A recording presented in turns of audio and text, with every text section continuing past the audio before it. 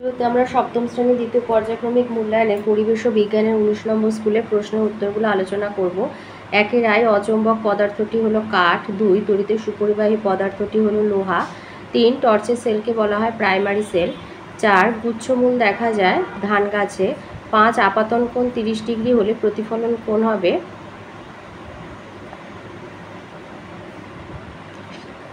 তিরিশ ডিগ্রি। ছয় পরিবেশ বান্ধব শক্তির উৎস হলো সৌরশক্তি। দুয়ের আয়তে আছে এটিএম এর পুরো নাম কি?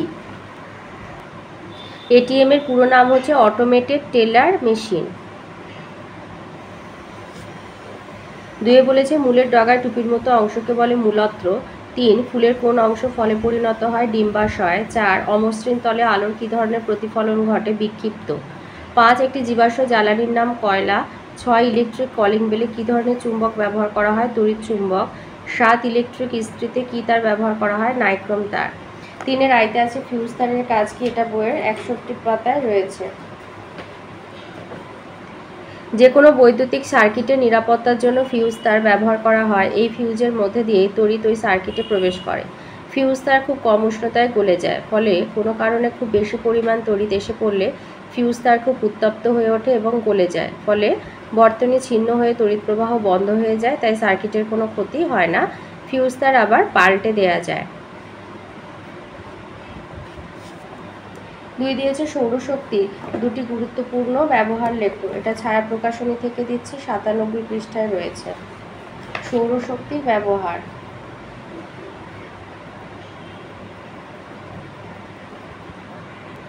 আচ্ছা এটা ছিয়ানব্বই পাতায় হবে সৌরশক্তির ব্যবহার। এই যে সৌরশক্তির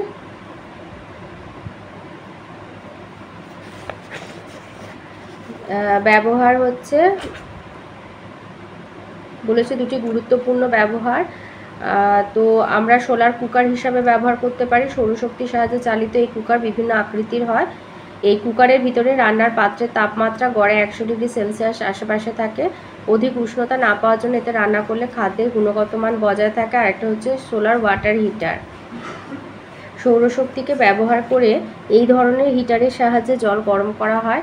এই যন্ত্রে storage tank electric backup makeup tank sun tracking প্রভৃতি ইউনিট থাকে। এই ধরনের ওয়াটার হিটারে উত্তাপ ধরে রাখার ব্যবস্থা আছে, ফলে মেঘটা দিলেও গরম জল পাওয়া যায়। তিনে দিয়েছে সমতল দর্পণে গঠিত প্রতিবিম্বের দুইটি বৈশিষ্ট্য লেখো। এটা ছায়া প্রকাশনী তেতাল্লিশ পৃষ্ঠায় রয়েছে।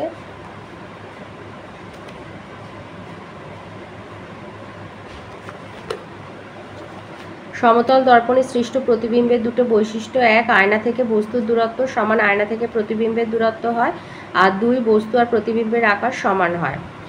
তিন হচ্ছে অপ্রতিসম বস্তুর ক্ষেত্রে পার্শ্বীয় পরিবর্তন হয় আর চার হচ্ছে প্রতিবিম্ব সমশীর্ষ মানে সোজা হয়। তো দুটো দিতে বলেছে যে কোনো দুটো দিয়ে দেবে। চারে দিয়েছে একটি দণ্ড চুম্বকের জ্যামিতিক দৈর্ঘ্য দশ সেমি হলে চুম্বকের চুম্বক দৈর্ঘ্য কত হবে? চুম্বক দৈর্ঘ্য সমান জ্যামিতিক দৈর্ঘ্য গুণ জিরো পয়েন্ট এইট সিক্স। তো দশ গুণ জিরো পয়েন্ট এইট সিক্স মানে এইট পয়েন্ট সিক্স সেমি হবে। পাঁচে দিয়েছে একটি আদর্শ ফুলের চিত্রাঙ্কন করে চারটি অংশ চিহ্নিত করো। এখানে জবা ফুলের একটা বিভিন্ন অংশ আছে, ওইটা ছায়া প্রকাশনী দুশো চুয়াত্তর পাতায় রয়েছে। ছায়া মানে ছায়া প্রকাশনী দুশো চুয়াত্তর পাতায় রয়েছে। পরিষ্কার ছবিটা রয়েছে, তাই জন্য এই ছবিটা দিলাম। তো এই ছবিতে এখান থেকে চারটে বিভিন্ন অংশ দেখিয়ে দেবে।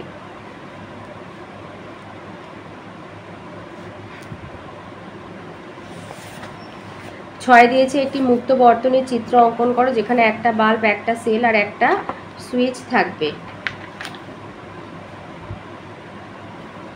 একটা বাল্ব, একটা সেল এবং একটা সুইচ। আচ্ছা মুক্ত বর্তনী মানে হচ্ছে মুক্ত বর্তনী মানে হচ্ছে অফ অবস্থায় আছে, ছিন্ন অবস্থায় রয়েছে। বদ্ধ বর্তনী হলো মানে যুক্ত হয়ে রয়েছে, তড়িৎ প্রবাহ হবে, আর মুক্ত বর্তনী হচ্ছে অফ অবস্থায় থাকবে, সেরকম একটা ছবি তোমাদেরকে আঁকতে হবে।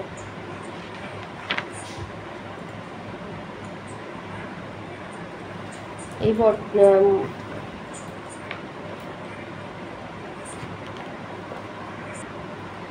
এইভাবে একটা ছবি আঁকবে, একটা বাল্ব, একটা সেল, আর এই হচ্ছে সুইচ। মুক্ত বর্তনী মানে ছিন্ন হয়ে আছে, অর্থাৎ এখান থেকে কোনো কারেন্ট এখন পাস করছে না।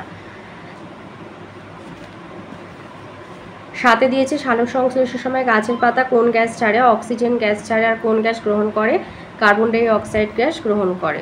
তো এই ছিল আজকের আমাদের সপ্তম শ্রেণি দ্বিতীয় পর্যায়ক্রমিক মূল্যায়নের পরিবেশ বিজ্ঞানে উনিশ নম্বর স্কুলের প্রশ্নের উত্তরগুলো